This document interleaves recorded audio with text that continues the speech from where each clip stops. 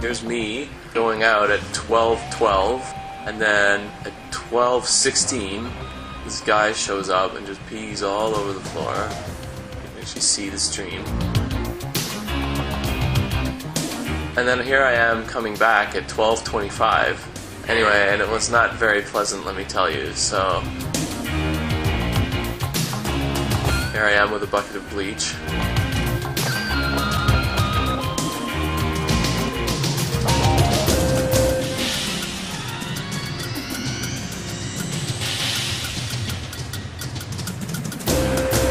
45 minutes later, I'm going out with posters.